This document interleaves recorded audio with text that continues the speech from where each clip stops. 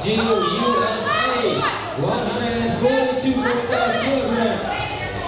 The third attempt.